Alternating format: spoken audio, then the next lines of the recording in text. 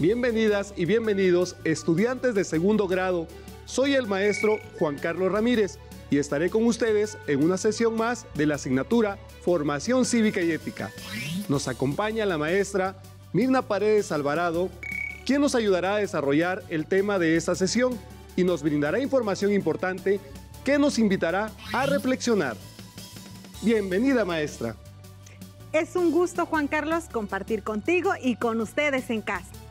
Antes de iniciar, quiero comentarles que estaremos acompañadas y acompañados vía remota por la maestra Gabriela Hernández Gómez y el maestro Ángel Francisco Pérez Arellano, ambos del maravilloso estado de Veracruz. Un saludo al hermoso estado de Veracruz, el cual es rico en cultura. Un ejemplo de ello son los voladores de Papantla, también llamados pájaros de la tierra. La ceremonia de los voladores de Papantla forma parte del patrimonio cultural de la humanidad, es decir, tiene valor a nivel mundial. Así es, maestro. Es un espectáculo majestuoso, el cual se puede apreciar bebiendo un tepache o un coco frío, los cuales son bebidas típicas de Veracruz. Excelente, maestra. En esta ocasión reflexionaremos sobre quién regula a los servidores públicos lo cual nos ayudará a reconocer las atribuciones y responsabilidades de las y los representantes y servidores públicos.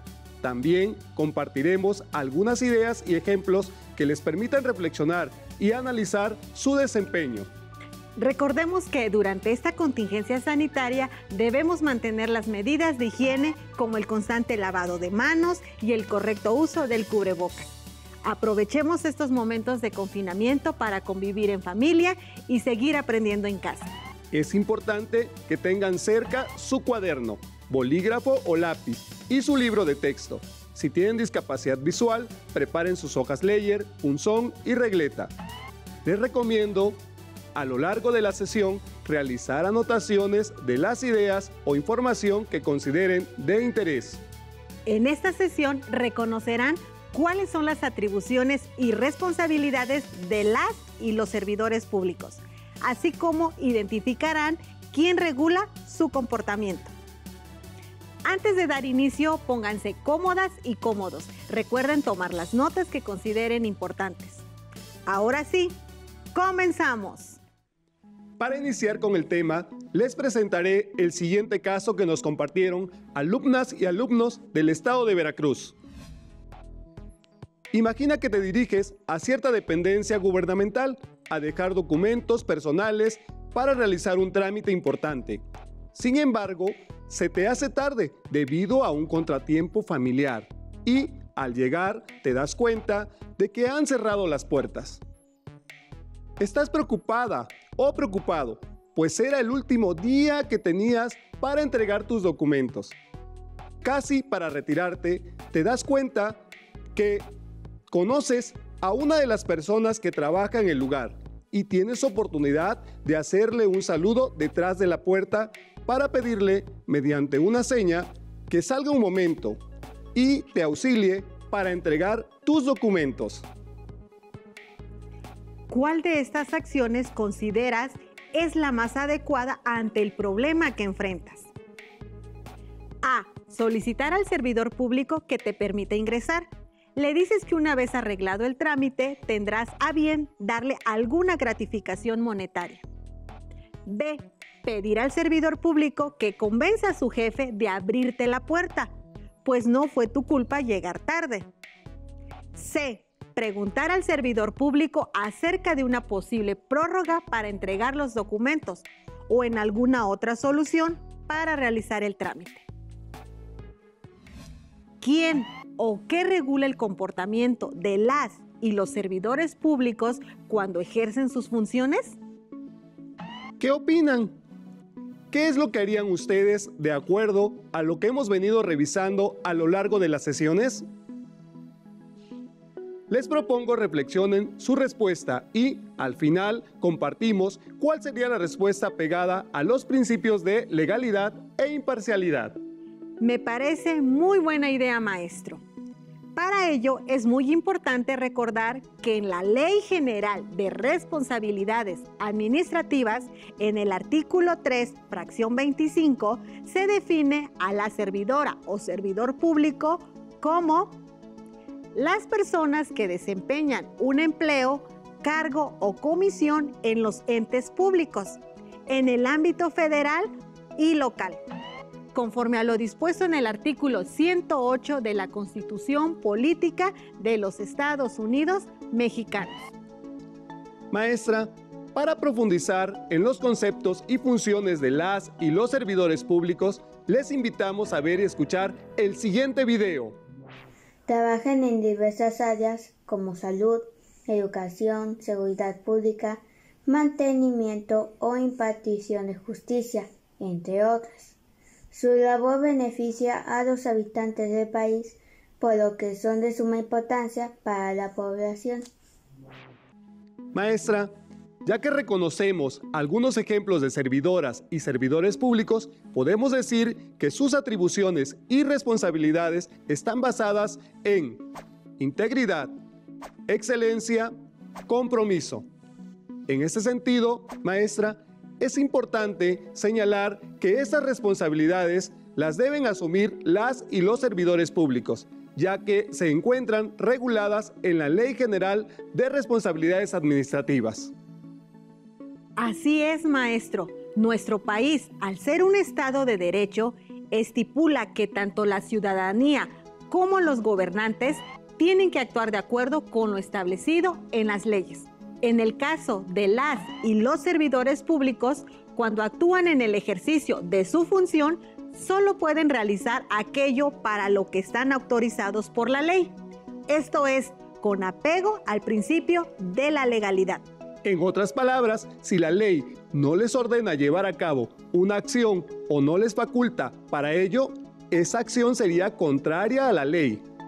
Para que realicen sus labores en beneficio de la ciudadanía, la ley les otorga una serie de atribuciones, poderes o facultades que les orienta en su actuar y, al mismo tiempo, les obliga a ceñirse estrictamente a lo reglamentado.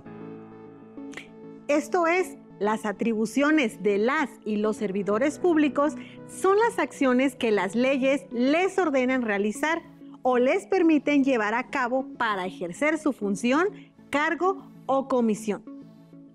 A continuación mencionaremos algunos ejemplos. Presidente de la República. Promulgar y ejecutar las leyes en la esfera administrativa. Legisladores. Proponer, discutir y aprobar las leyes. Funcionarios del Poder Judicial. Resolver controversias mediante la aplicación de la ley. Maestro, por ejemplo, las instituciones públicas son las que pertenecen a los poderes ejecutivo, legislativo y judicial de los gobiernos federal y estatal. En el ámbito federal, un gran número de personas presta sus servicios a las distintas secretarías de Estado, entre ellas la Secretaría de Gobernación, la Secretaría de Salud y la Secretaría de Educación Pública o a organismos y entidades del Poder Ejecutivo, como Petróleos Mexicanos y la Comisión Federal de Electricidad, cuyo propósito es el de administrar los bienes y las riquezas de la nación, la prestación de servicios públicos para la población y la construcción de obras públicas. Así es, maestra. Las y los servidores públicos tienen una gran responsabilidad nacional. Es por ello que para destacar la importancia de las instituciones que regulan la actuación de los servidores públicos. Les invito a prestar atención a la entrevista que hizo el profesor Ángel Francisco Pérez Arellano al maestro Humberto, especialista en el tema, en la que menciona algún ejemplo sobre la institución a la que se puede acudir a realizar denuncias de la ciudadanía ante posibles faltas de las y los servidores públicos. Corre video. El día de hoy nos acompaña el maestro Humberto, quien es especialista en el tema que tiene que ver con los servidores públicos, sus sanciones y todo lo que tiene que ver con este gran tema que están estudiando y sé que te ayudará a ti alumna y a ti alumno a entenderlo mejor. Primeramente, quisiera preguntarle, maestro, eh, nosotros que somos eh, ciudadanos, ¿a qué instancia debemos acudir cuando somos testigos eh, de que un funcionario público ha cometido alguna falta? ¿O a qué dependencia? ¿O qué podemos hacer si somos testigos de ello? Hola, muchas gracias por invitarme. Mira, cuando un servidor público comete una conducta irregular, y somos testigos o afectados por esta conducta, lo que procede es levantar una queja. Para esto, el ciudadano se presenta ante la dependencia que corresponda y llena un formato formulario. O en su defecto puede realizar un escrito libre donde detalle su queja, qué fue lo que sucedió, por qué acusa al servidor público. La queja debe contener eh, información o detalles muy importantes como son el nombre del funcionario, servidor público, el cargo que desempeña, los datos del ciudadano afectado. Debo decirte que las denuncias anónimas no pueden proceder. La Secretaría de la Función Pública es quien determina si es viable o no iniciar una investigación. Esto no quiere decir que porque se investigue el servidor público ya vaya a ser sancionado, sino que se investiga para saber si hay razón o hay verdad en la denuncia que se ha hecho ya que el servidor público también tiene derecho a ser escuchado y a presentar las pruebas que corresponden. Maestro, usted nos hablaba de la Secretaría de la Función Pública. ¿Esta es la instancia correspondiente para realizar el procedimiento en contra de un servidor público? Así es. Es la Secretaría de la Función Pública en el área de quejas y responsabilidades. Son ellos los que inician el procedimiento, resuelven y notifican al servidor público, así como al ciudadano afectado, cuál es la resolución final. Muy bien. Entonces, una vez que se presenta la queja, ¿qué es lo que sigue? ¿Qué procede?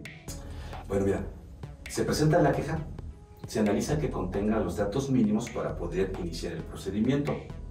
Se revisa que la redacción donde se describe por qué se cree que el funcionario público está cometiendo una conducta irregular sea clara. Posteriormente, la autoridad responsable va a emitir un citatorio para el servidor público a una audiencia que es llamada audiencia de ley. También se le notifica al servidor público cuáles son esos actos irregulares por los que se les está citando. Se le menciona que puede presentar pruebas de descargo. También se le dice que puede presentarse acompañado de un defensor. Cabe aclarar que en caso de que no se presente el servidor público a la audiencia, se le declara confeso de los actos que se le imputan. Posteriormente se inicia con la investigación, se cotejan las pruebas que ambas partes presentan y si es necesario se le cita para que corroboren su declaración y así continúa el procedimiento hasta que se obtiene una resolución final. Maestro, como apreciamos en el video, cuando la ciudadanía es afectada por alguna o algún servidor público, tiene el derecho a exponer su queja y los servidores públicos deben ser sancionados por una instancia que lleve el seguimiento durante un determinado tiempo. La Constitución Política y la Ley General de Responsabilidades Administrativas, entre otros documentos, establecen principios de actuación que las y los servidores públicos están obligados a observar, es decir, a cumplir en el desempeño de su función.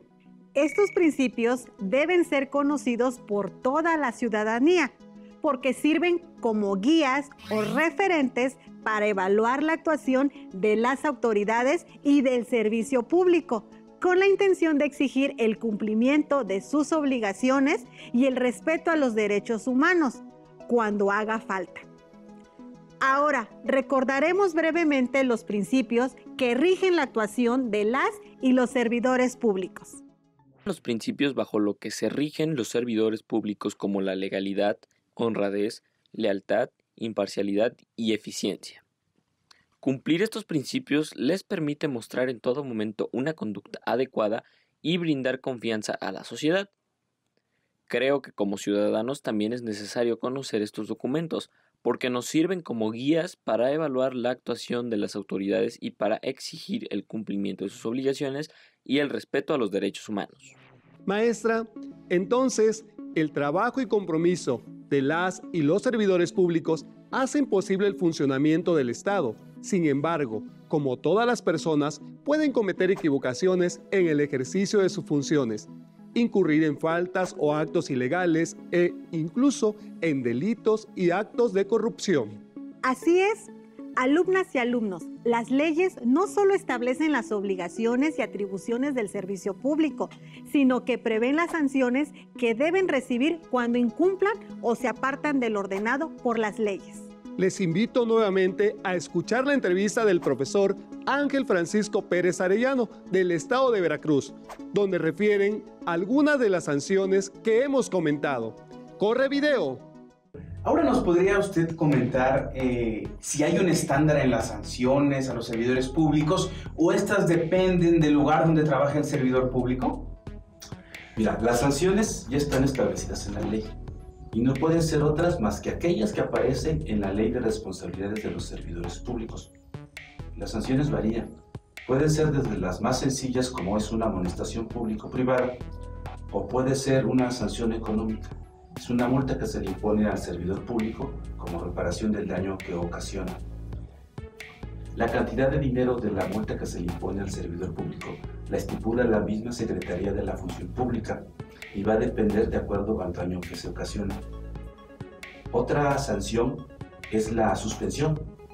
Por ley, esta no puede ser menor a tres días ni mayor a un año. La inhabilitación es otro tipo de sanción y esta consiste en separar al servidor público de su cargo o de su función.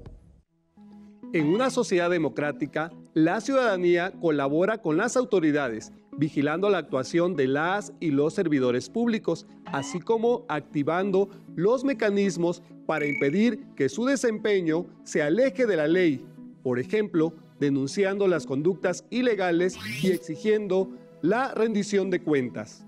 Maestro, Efectivamente, así lo vimos y escuchamos en la entrevista al maestro Humberto, en la que nos explicó las sanciones a las que pueden hacerse acreedoras las y los servidores públicos.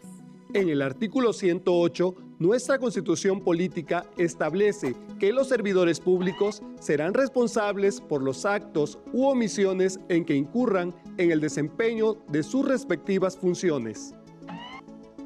Son muy variadas las faltas y conductas ilegales en las que pueden caer los servidores públicos, desde realizar con descuidos sus labores hasta hacer mal uso de los recursos públicos de los que disponen, violar los derechos humanos de las personas o pedir o recibir dinero u otros beneficios a cambio de cumplir con sus obligaciones. A esas acciones se le conoce como cohecho o soborno. A continuación, la profesora Gabriela Hernández Gómez del estado de Veracruz nos explicará las sanciones por faltas o irregularidades de las y los servidores públicos. Pongamos atención. Claro, es importante que conozcamos las sanciones a las que se hacen acreedores las y los servidores públicos cuando cometen una falta. Estas se encuentran establecidas en la Ley Federal de Responsabilidades Administrativas específicamente en el artículo 53. Pero antes de pasar a comentarlas, te recuerdo que una sanción es una consecuencia jurídica ante el incumplimiento de alguna responsabilidad o de un servicio. Ahora sí te voy a comentar las sanciones. La primera de ellas es el apercibimiento público o privado.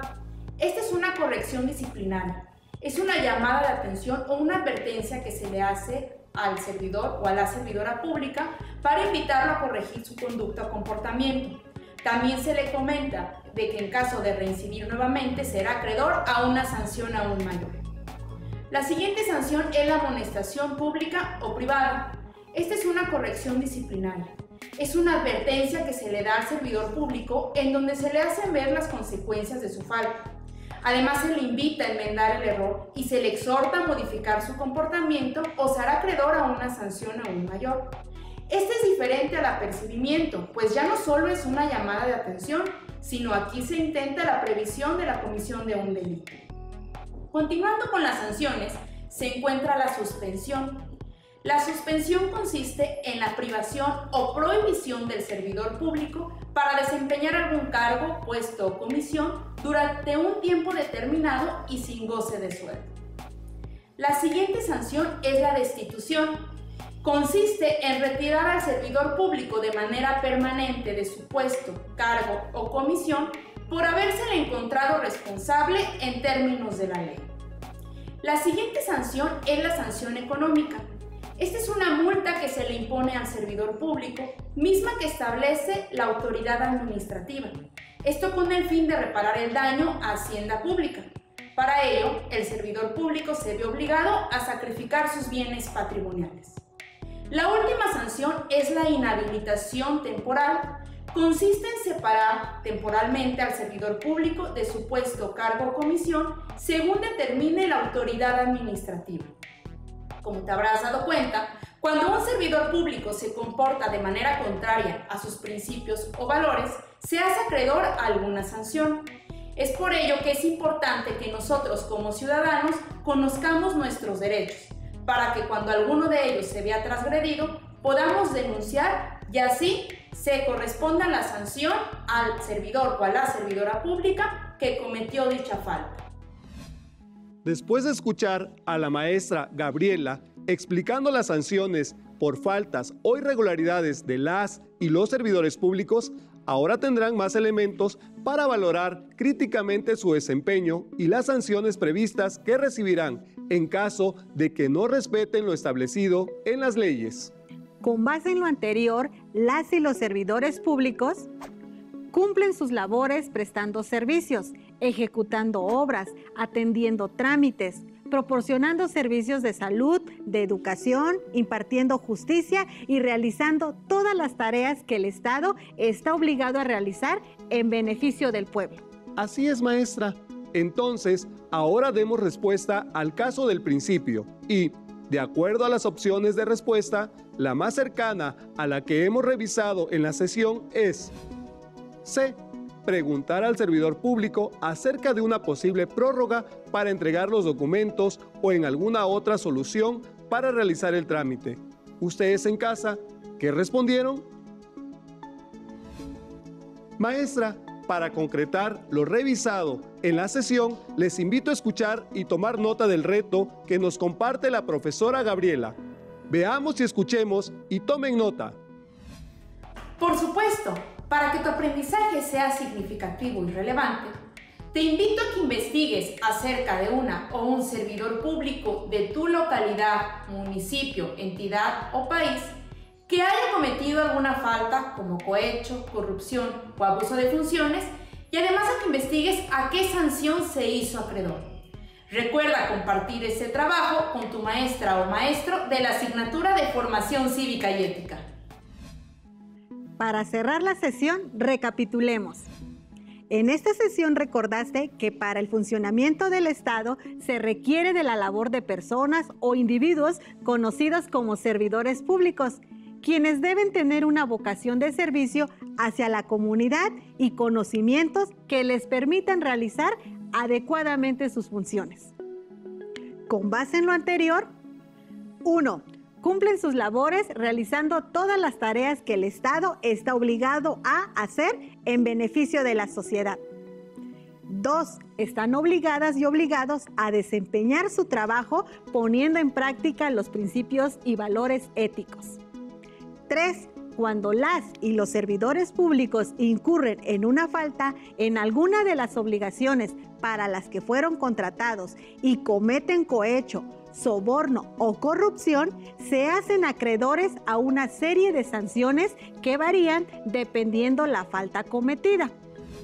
Las sanciones por faltas o irregularidades de los servidores públicos son amonestación, sanción económica, suspensión, destitución, inhabilitación y sanciones penales. Recuerden revisar su libro de texto para complementar el tema visto en esta sesión y comentar con su profesora o profesor las dudas que les hayan surgido. Sigan aprendiendo, ya que aún queda mucho por explorar y descubrir. Nos vemos en una próxima sesión de la asignatura Formación Cívica y Ética. Hasta, la, próxima. Si tienes dudas o necesitas ayuda, llama al Centro de Apoyo Pedagógico a Distancia. El número de teléfono para secundaria es el 55 36 01 71 23. Si requieres consultar los libros de texto en versión digital, recuerda que los puedes encontrar en la página conalitec.cep.gov.mx. Y recuerda que también cuentas con el sitio aprendeencasa.cep.gov.mx, en donde podrás ver nuevamente los videos de los programas y además encontrarás actividades para fortalecer tus aprendizajes. También te invitamos a que consultes la plataforma nuevaescuelamexicana.cep.gov.mx.